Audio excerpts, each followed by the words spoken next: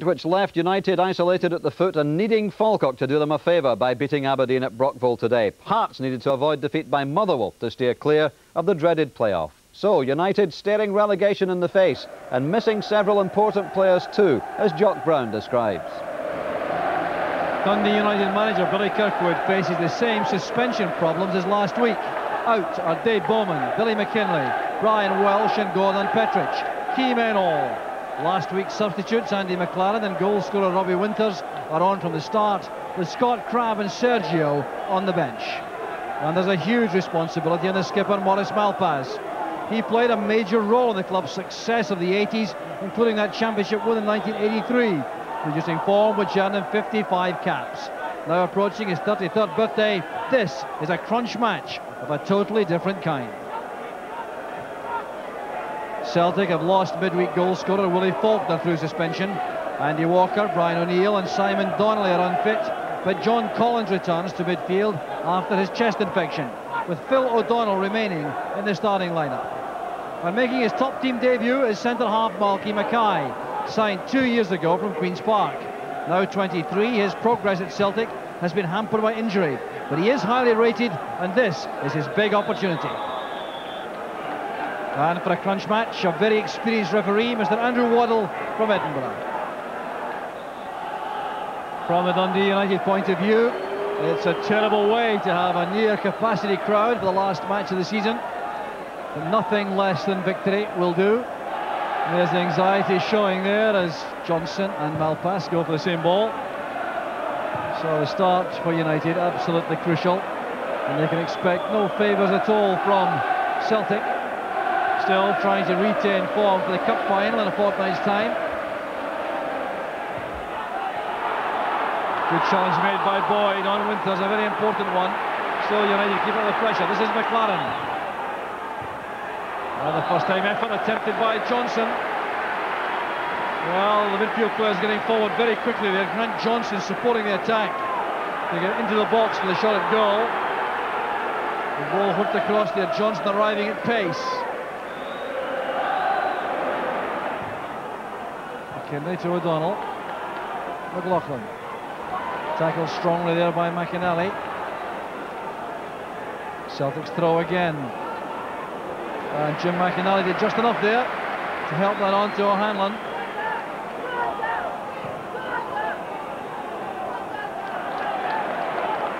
That's Collins. McStay. Collins again.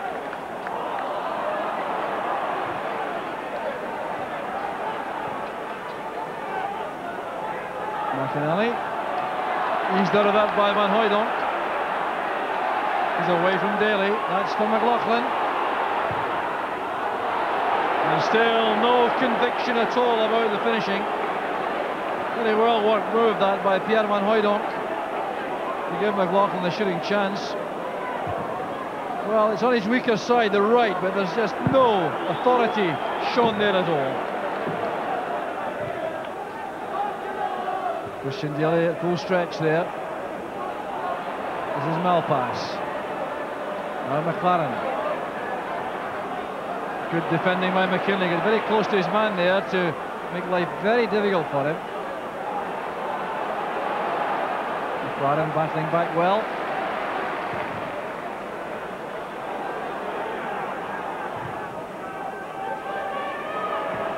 Time here for Malpas.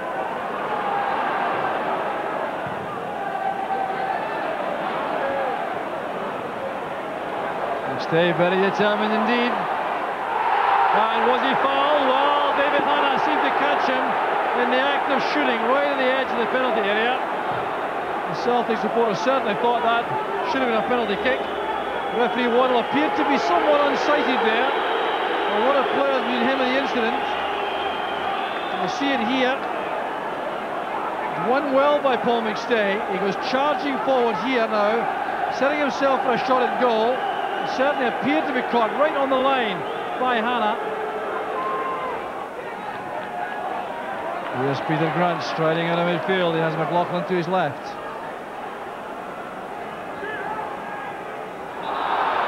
And brought down there by Jim McInally. A rueful smile. And an apology offered to McLaughlin in the passing. So free kick to Celtic. Tosh McKinlay over the ball. Mackay is joined by Hooijdonk again and O'Donnell in the box. They all carry a threat here. Dailly did well defensively. McLaughlin to Van Hooijdonk. Back to McLaughlin. Now smiling there towards the Dundee United supporters behind the goal. A lovely move that. Van Hooijdonk's touch was delightful into the path of McLaughlin. Good strong header away by Christian Dailly. It was returned by McLaughlin. Look at this layoff. Delightful. And then Brian McLaughlin again struggling with the final shot. That's a McStay. Good dummy. Now Vata. Peter Grant available again in the centre of midfield. Taken late by McInally. Jim McInally living dangerously here. He's been involved in a number of fouls. And the referee Waddell has told them, I think, that's the last. An awkward one that for Grant. He may be in some distress here. Seemed to buckle badly going down.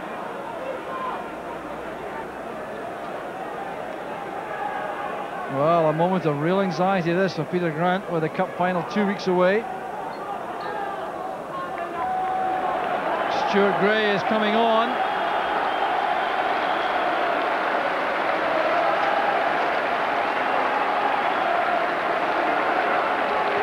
Celtic supporters not happy with Dundee United, but giving Peter Grant a terrific ovation as he is carried off remains one of the saddest sights in the game.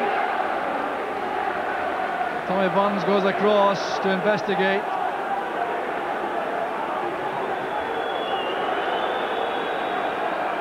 So the difference being made by Celtic is to put John Collins into the central role, vacated by Grant in midfield. Here's Brewster. That was close. First real chance at goal for Brewster in the match.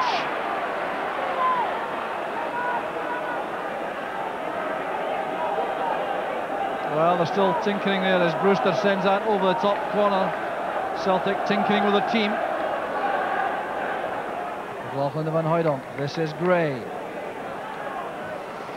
Collins. Foul from the rear by Perry. Game being punctuated by a series of fouls, mostly, it has to be said, committed by Dundee United players. Suppose that reflects their desperate position in the league. And Hooijdonk from a long way out. It's fully 30 yards.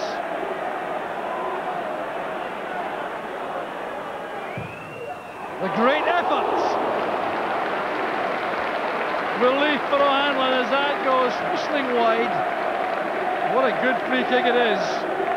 Over the wall, swerving and dipping. A great effort by Van Hooijdonk.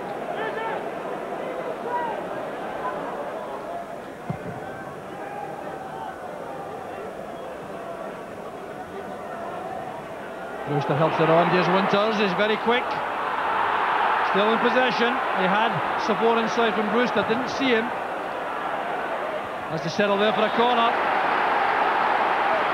Well, Craig Brewster in the middle, holding his head in his hands because had he been spotted by Robbie Winters early in the move, he was all on his own. We'll see this here. There's Winters now holding off two defenders, Mackay and Vata. We see Brewster appearing in the middle there. Barely enough time, I suspect, for another attack to be built up. The referee looks at the linesman and I think is satisfied that the first half could come to an end after four minutes of stoppage time. So an undistinguished first half. The tension has guaranteed that and some very heavy tackling by Dundee United. Very few goal-scoring opportunities and Dundee United still with a match to try to win. At half-time, Dundee United nil, Celtic nil. So a vital 45 minute period coming up for Dundee United and they made a change for the second half. They've got on Scott Crabbe wearing number 12 and he replaces Andy McLaren who had a thin time of things in the first half against Tosh McKinlay. So Crabbe for McLaren for the second half. And the news from the dressing room about Peter Grant is that he had a damaged knee, which does not require hospital treatment right now, although that may happen in Glasgow when he goes back home with the team after the match. So still some concern about him. Here's Winters. That's a great effort. Brilliantly saved by Bonner. Great reflexes by Pat Bonner. Well, the work done there by Brewster with head flick on. There was Winters making space for himself for the volley. Great save from Bonner. A Crabbe with a corner. Bonner again, fisting the ball to safety. That's Johnson to McInally. Looking for Crabbe again. Attempting to keep the ball in play, couldn't quite make that. Former Hearts player. Well, anxious moments there on the United bench. Billy Kirkwood on the left of the picture, Gordon Wallace on the right. The Celtic supporters clearly in good heart, despite not being able to get into a lead here. And looking forward, of course, to the Cup final in a fortnight.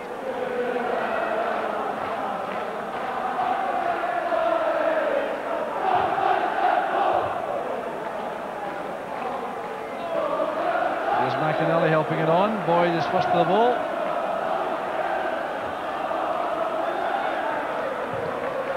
Boyd again. Dailly under pressure from Van Hooijdonk. Here's McLaughlin once more. Can he make it this time? No, it won't run for McLaughlin. Well, he gets a hug from one of the supporters behind the goal. An error by Christian Dailly. McLaughlin driving in the post. He kept his head well. Look as though he may have the composure. It's a good save by O'Hanlon.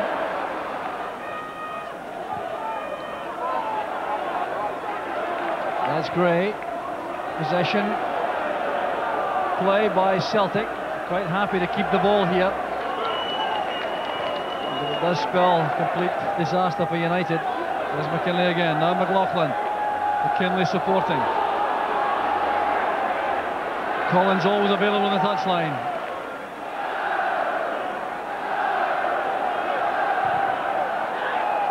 A chance for Van Hooijdonk.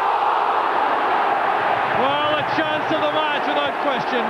Delightful build-up play from Celtic. Pierre Van Hooijdonk really had the chance to bury this. John Collins doing some marvellous work coming into the left. And that delightful chip beat David Craig. There was Van Hooijdonk steadied for the shot, which skimmed the bar. That could have been the end for Dundee United. Handball there by Mackay. And here's Scott Crabbe.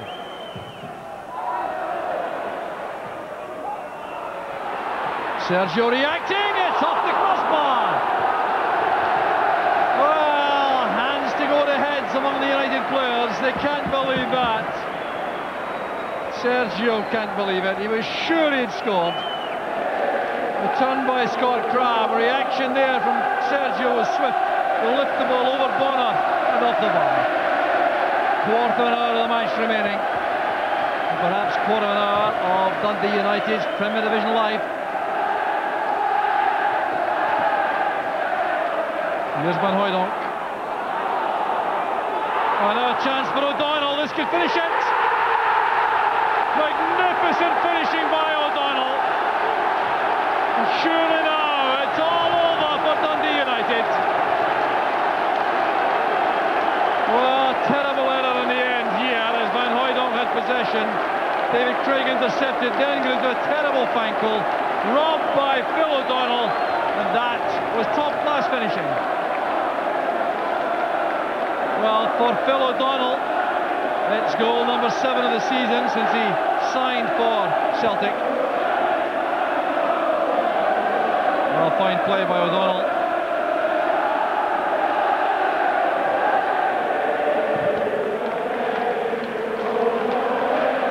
Billy Kirkwood now, I think, realises relegation is inevitable.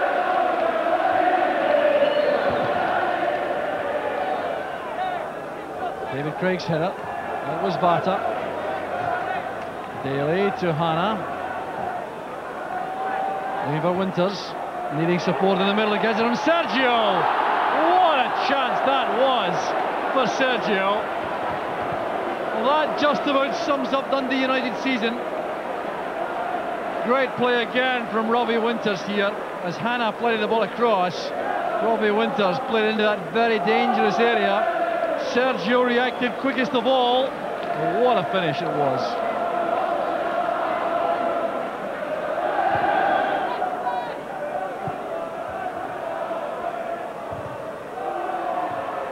Stuart Gray into the gap. Van Hooijdonk is there. This is Vata. Wanted to stop his time here in Dundee United's last match in the Premier Division, at least for a year.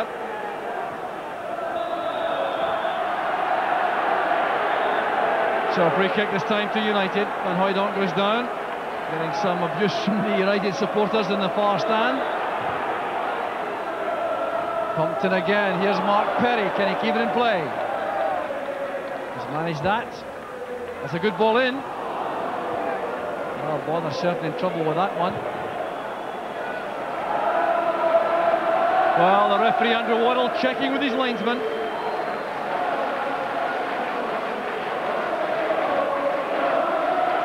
Back to McInally. Touched on by Mackay, who can be very pleased with his debut.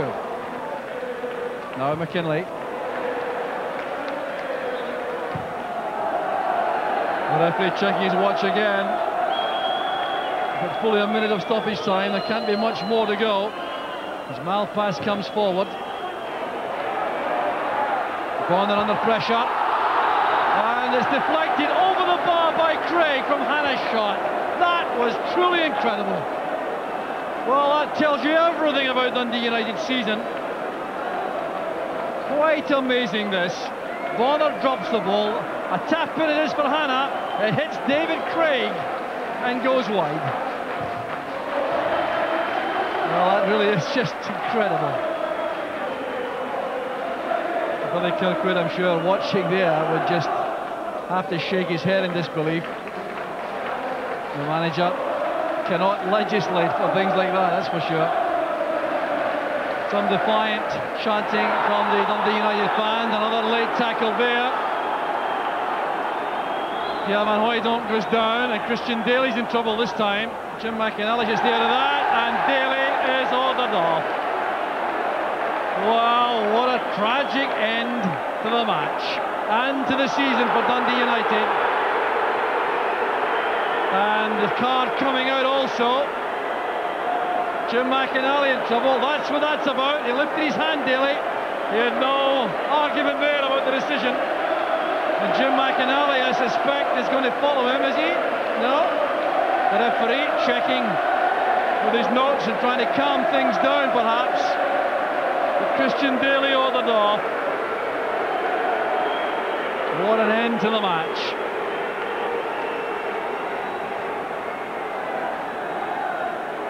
Well, there certainly had been a bit of niggling going on with Van Hooijdonk.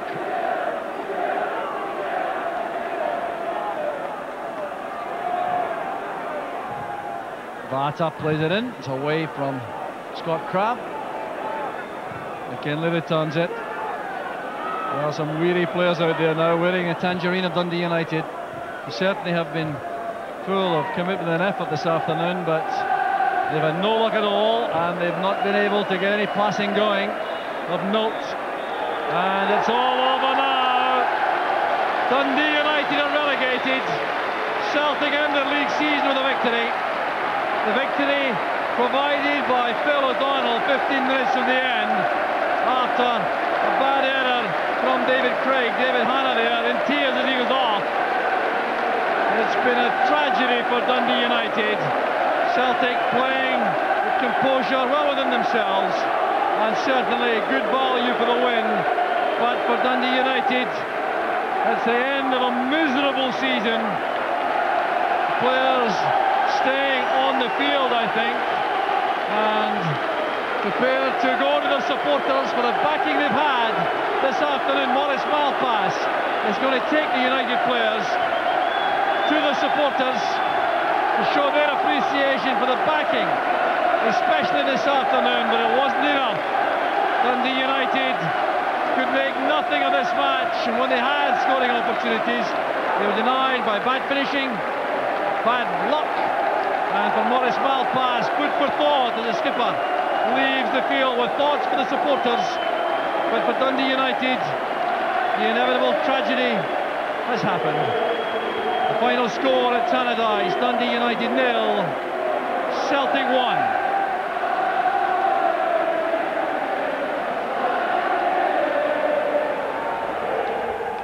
Really a major disappointment, obviously, but now you've had time to let the dust settle a bit.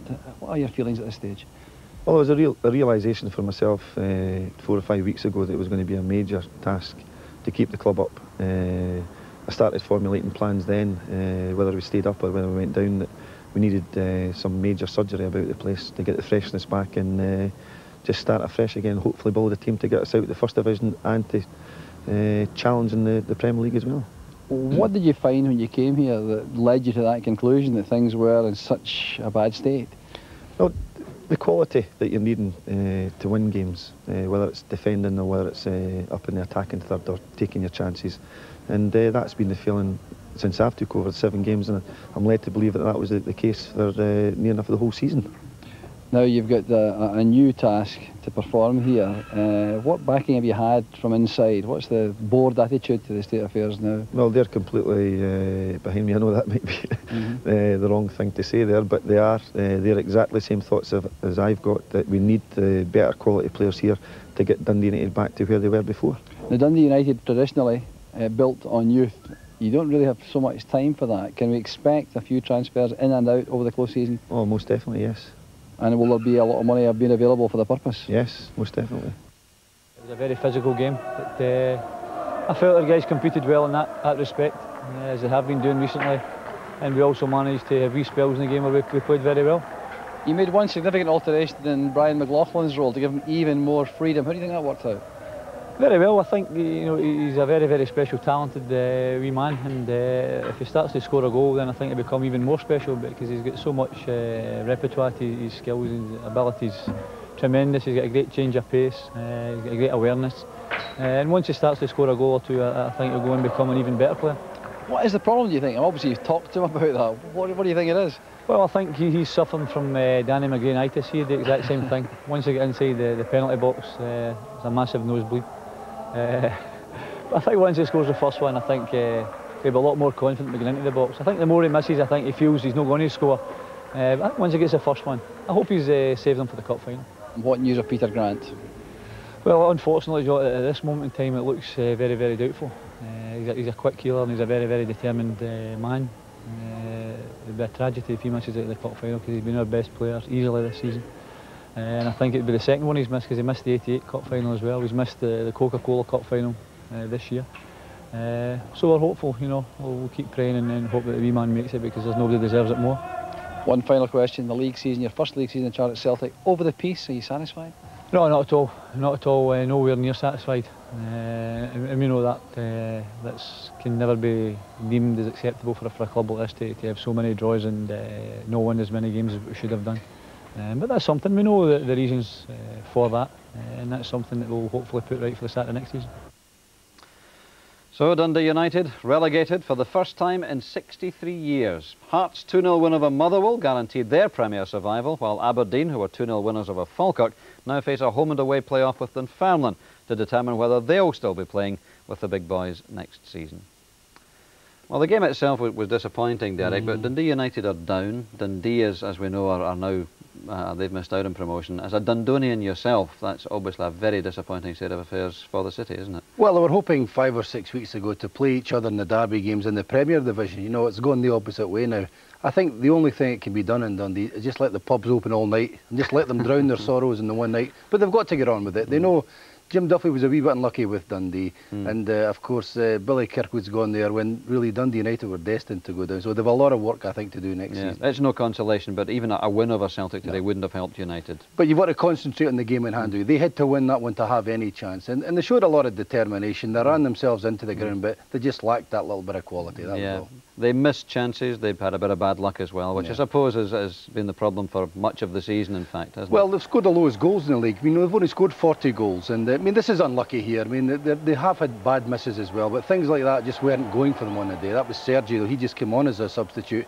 This is the, the best chance, really, the match for Dundee United. A good ball in there from Winters, and really, you've got to hit the target there. I mean, you're, you're 12 yards out, and to miss kick it like that is, is a tragedy, and uh, that's what's cost Dundee United all season. He was. This sums him up. I think Jock said that in the comment. This actually sums up the whole of Dundee United season. David Craig's done all the hard work there. He's gone into the goalkeeper, and really that's a bad miss. You, you know the players in front of you, and Hannah's just got to lift it over the top when it's in the net. But uh, for them, it wasn't to be. yeah. Just a brief word: the sending off of uh, Chris Delaney at the end. No argument about his sending off, but maybe Pierre Van Hooijdonk should have gone too. Well, it was two men involved again, it wasn't it? Now, we're now talking about 30 seconds of the match left. It's the last game of the season. Dundee United are down anyway. Mm. The referee, you've got to think. I mean, the common sense rule for me, but he sent him off. Disappointing again, isn't it? Yeah. The Celtic goal, well taken, but a bad mistake by David Craig, which Well, uh, he won't need reminding If of. the inexperience again we're talking about at the back, there's no Welsh or Petric you wouldn't have thought they would lose a goal like that. Just to punt up the field there. Van Hooijdonk does well there to get by Dailly. Just and David Craig gets caught there. I mean, it's a thing you can't do. You're the last man. You can't get caught with the ball at your feet there. Phil O'Donnell does well. I mean, that's a great finish. You can't fault the finish. But uh, the youngster's inexperience there. I mean, he's done everything right. He's read that well. He just clear it there.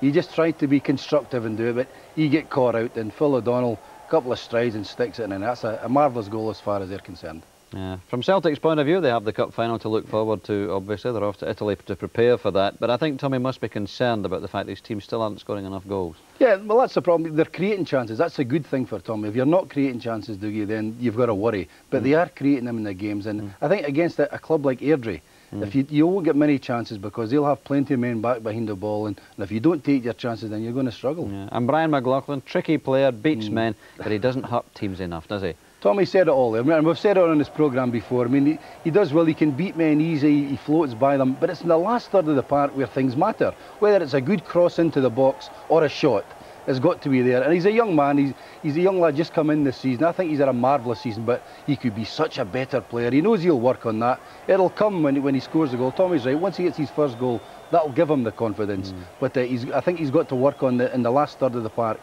And this is a great chance. Van Hooijdonk, again, we keep saying it, he's not the greatest player in the air, but uh, really he should be hitting the target with crosses like that. When he's, he's chested it down, he's done everything right. Look at that over the bar. You've got to hit the target.